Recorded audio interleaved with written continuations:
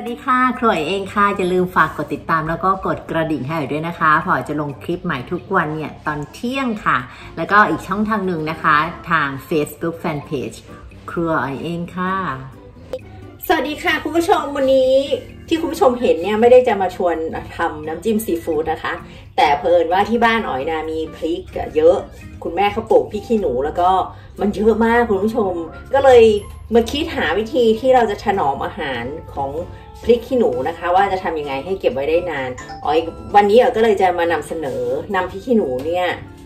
กับกระเทียมน้ำแล้วก็น้ำตาลทรายแดงเนี่ยมาปั่นรวมกันแล้วก็เก็บไว้ ก็ถ้าถามมันก็คงจะคล้ายๆ กับลักษณะของพริกดองอะนะคะ แต่ว่ามันจะไม่มีรสเปรี้ยว มันจะเป็นวิธีการถนอมอาหารของพริกขี้หนูอย่างหนึ่ง ซึ่งคุณผู้ชมสามารถนำไปใส่ต้มยำใส่ผัดผัก หรือว่าคุณผู้ชม สามารถใช้พริกขี้หนูเนี่ยในการทำคุณผู้ชมสามารถใช้พริกดองตัวนี้ทำได้เลยเอออพูดอย่างนี้พริกดองคุณผู้ชมอาจจะคิดว่าเอ๊ะพริกดองที่เราใส่แบบก๋วยเตี๋ยวอะไร ไม่ใช่นะคะไม่เหมือนกัน อันนี้คือเป็นเป็นมันจะมีกลิ่นของพริก แล้วก็ไม่เปรี้ยว แล้วก็มันจะไม่เผ็ดมากค่ะคุณผู้ชมเหมือนกับว่าเราดองทิ้งไว้เนี่ย มันจะ ความเผ็ดมันจะลดลง แต่ว่าความกลิ่นฉุนหรืออะไรเนี่ยมันก็ยังมีอยู่นะคะ คือเวลาอ๋อยผัดผักเนี่ยอ๋อยก็จะใส่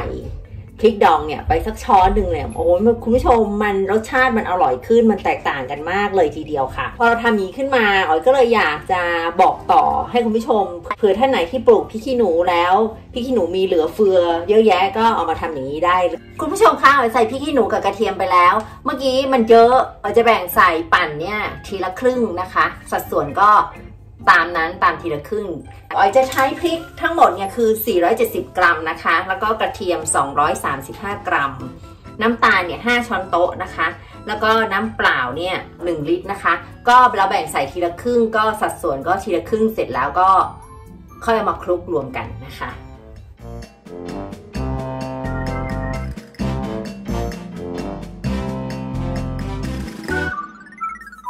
เ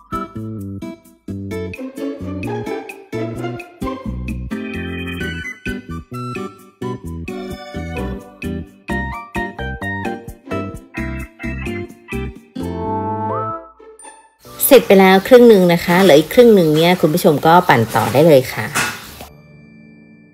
คุณผู้ชมคะปั่นออกมาให้ได้ความละเอียดประมาณนี้นะคะ ไม่ต้องให้ละเอียดมากนะคะ ให้พอยังมีชิ้นพริกอยู่นะคะ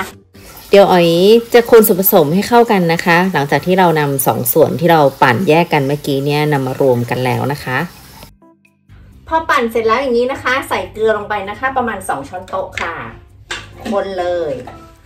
ให้มันเข้ากัน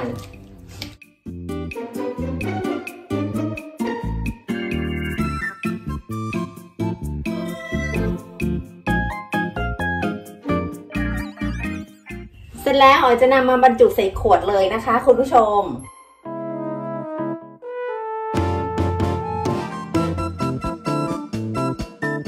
นี่เลยค่ะเรียบร้อยแล้วปิดเลยนะคะ ทิ้งไว้ข้างนอกอย่างนี้นะคะ ประมาณหนึ่งอาทิตย์ค่ะ หลังจากนั้นค่อยนำไปเก็บในตู้เย็นค่ะ ความเผ็ดของพริกก็จะลดลงนิดนึง แต่ความฉุนของกลิ่นพริกนี่ไม่หายไปแน่นอนค่ะ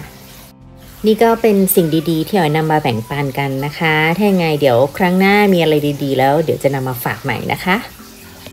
สูตรอาหาร homemade อร่อยๆ ต้องที่ครัวอ๋อยเองนะคะ อย่าลืมฝากกดติดตามแล้วก็กดกระดิ่งให้อ๋อยด้วยค่ะ อีกช่องทางหนึ่งทาง Facebook Fanpage